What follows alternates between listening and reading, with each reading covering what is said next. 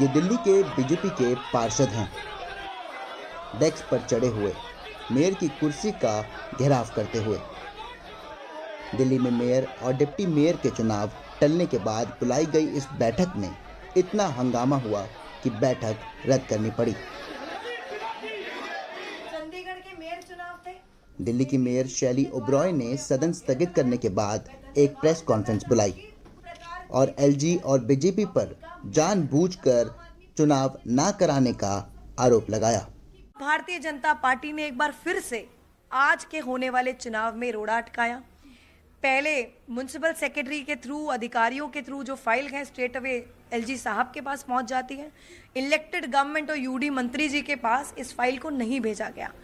अब जब चुनाव का दिन है उससे एक दिन पहले शाम को एलजी साहब का कहना है कि आज के चुनाव को पोस्टपोन कर दिया जाता है क्योंकि मुख्यमंत्री जी से ओपिनियन नहीं लिया गया। क्या अब आप लोग कोर्ट का दरवाज़ा खटखटाएँगे? बिल्कुल ज़ाहिर सी बात है हम लीगल ओपिनियन लेंगे हम ऑफिसर से चर्चा करेंगे सेक्रेटरी से चर्चा करेंगे।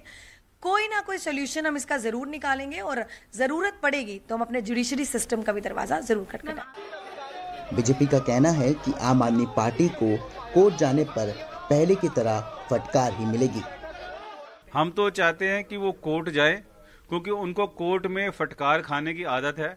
आज से दो दिन पहले भी माननीय हाई कोर्ट उनको फटकार दी। सीएम साहब भी कोर्ट में गए और कोर्ट की वजह से ही जेल में गए। और ये जब कोर्ट में जाएँगे तो उनको दूध का दूध और पानी का पानी हो जाएगा, जब कोर्ट से इनको फिटकार पड़ेगी कि आपने इकतीस मार्च से पहले क्लियरेंस क्यों नहीं ली। सदन में अब इस महा हंगामे के बाद सबसे बड़ा सवाल ये होगा कि क्या दिल्ली की जनता को एक दलित मेयर मिल पाएगा? या फिर इस चुनावी गर्मी की वजह से ये नहीं हो पाएगा? दिल्ली से कैमरा पर्सन अरुण नेगी के साथ शुभांग सिंह ठाकुर, एनडीटीवी इंडिया।